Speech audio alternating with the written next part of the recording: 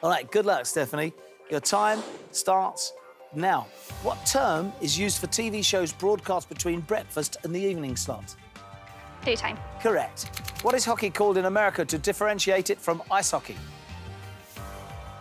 Pass. Field hockey. Who played convict Everett Ulysses McGill in the film Oh Brother, Where Art Thou? Pass. George Clooney. In 1948, Winston Churchill began publishing his six-volume memoir of what war? World War II. Correct.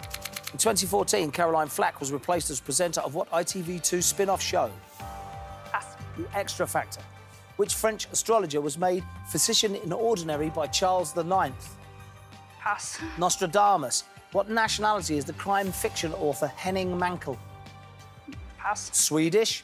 X and what other letter are worth eight points in a game of Scrabble?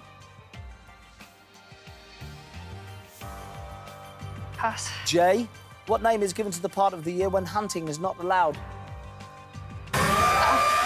Would have been closed season. Full season. Right then, £2,000, Stephanie. Not bad. You ready? Yeah. All right, time to face the chase.